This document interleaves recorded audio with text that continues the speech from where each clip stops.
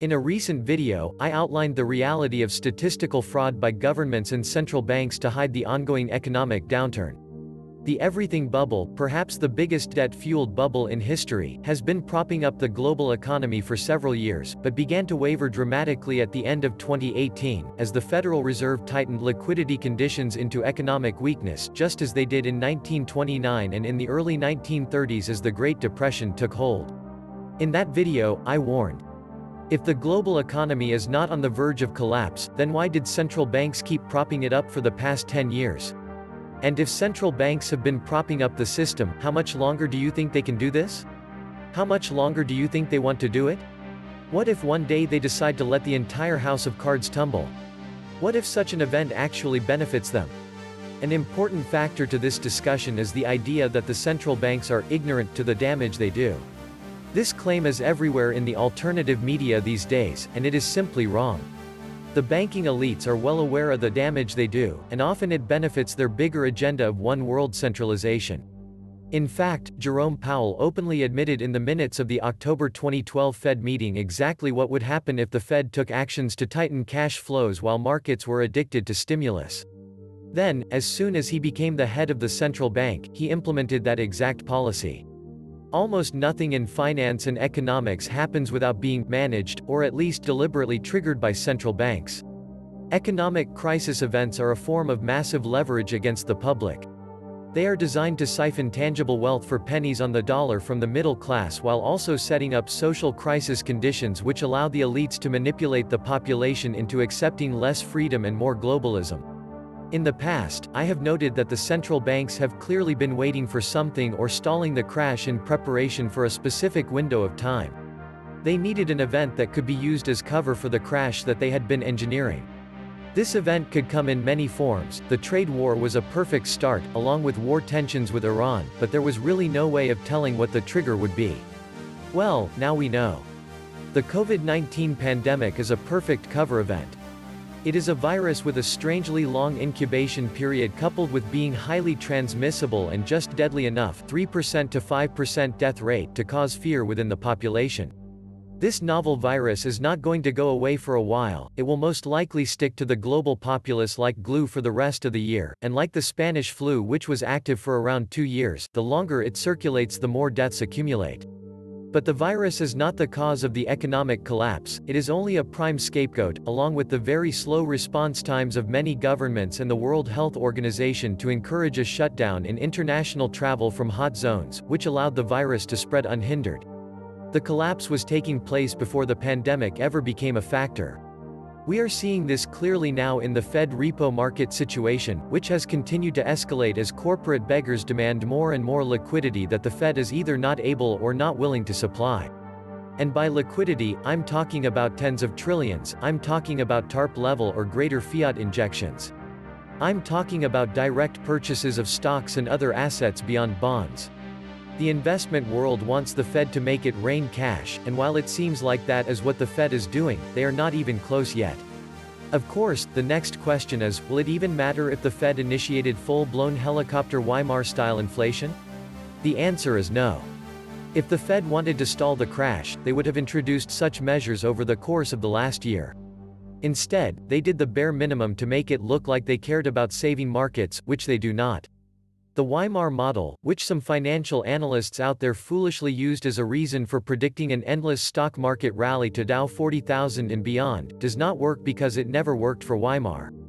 German stocks still collapsed in 1924, and then again after 1927. There is no precedent in which hyperinflation ensured increased stock profits or higher prices for very long, so don't expect helicopter money from the Federal Reserve to help either. Anyone with any sense can see that the prevailing factor of stock market performance has long been corporate stock buybacks, which have now conveniently dropped off the face of the earth as the COVID-19 pandemic spreads. If you want to know why Fed intervention is doing nothing to reverse the damages in equities, the end of stock buybacks are a good starting point, along with the vast debts among corporations and consumers.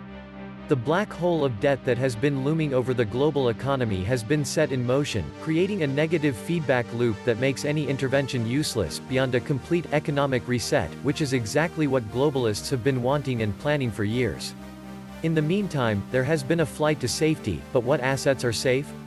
On the surface it looks like almost everything except the US dollar is plunging in value, but looks can be deceiving.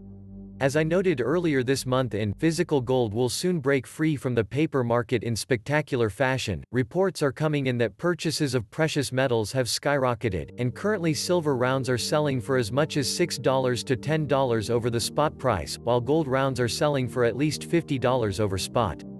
The physical market is officially decoupling from the paper market. At this point, we are seeing unprecedented events beyond even the 2008 credit crash. We must ask, what is our timeline? Looking at China, the first nation to be hit by the pandemic, their economy is still essentially shut down. Initial estimates were that Chinese manufacturing was going to restart on March 20, but reports from China and the Wall Street Journal indicate that this is not going to happen. Every sector of China's economy has plunged, and it does not look like the supply chain on their side will be restarted in the near term. This makes sense when you consider the possibility that China has been lying the whole time about the extent of the damage done by the virus. Italy, with a far lower population, has already surpassed China's death count with half as many confirmed infections.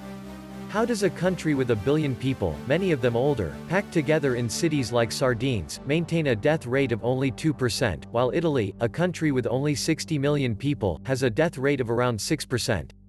China has much to answer for, but I don't think we'll ever get the whole story.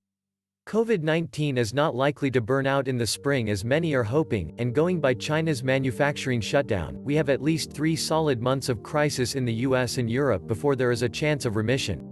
But even if the virus does hit a wall, the economy will already be sunk beyond repair. This is the kind of collapse that takes years to recover from, and the global elites want to be the people that take charge of the recovery. My biggest concern right now besides the supply chain issue is the potential for a liquidity crisis and credit crisis leading to a bank holiday, a widespread banking shutdown. I believe this will happen, and probably sooner than we might expect.